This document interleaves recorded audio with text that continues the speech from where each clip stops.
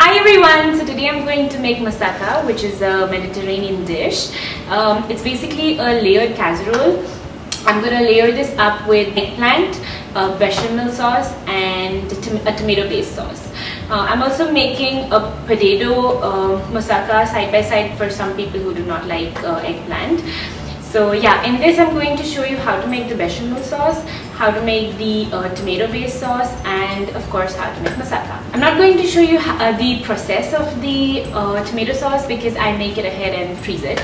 So yeah, but I'll be giving you guys the recipe so let's get started.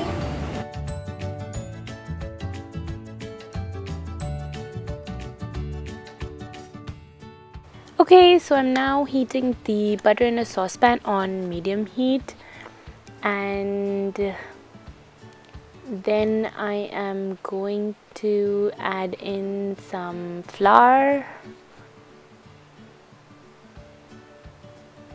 Now I uh, um, cook my flour till the raw scent of it goes away. This will take about a minute. Once that's done I add some milk to it now you need to continuously uh, stir it so that there's there are no lumps left in it and then add some mustard paste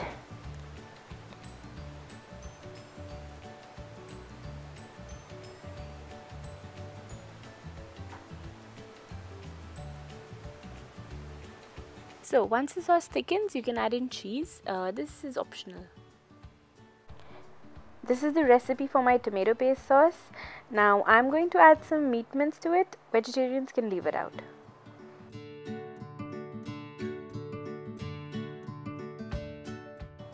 This is 250 grams of mince and some chopped garlic to which I'm going to add my uh, tomato paste sauce.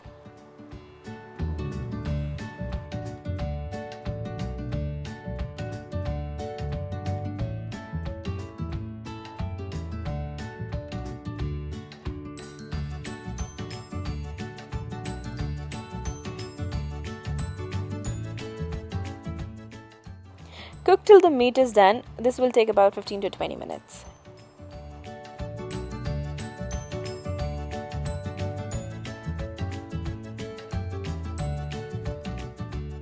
And the final step is frying up the eggplant or the potato, whatever you like. Fry them till they're beautiful and golden brown.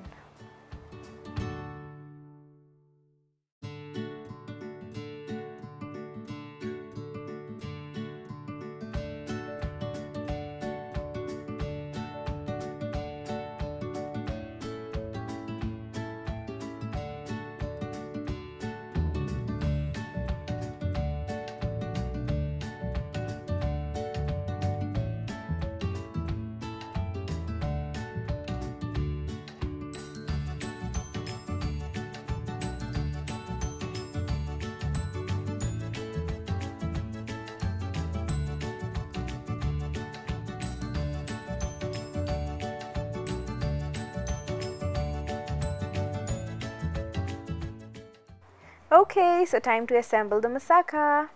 First layer it up with uh, the potato or eggplant. Then the uh, tomato based sauce.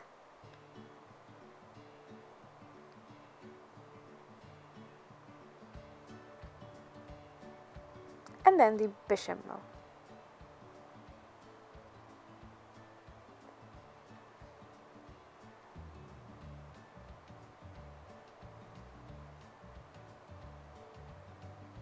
Repeat, repeat, repeat.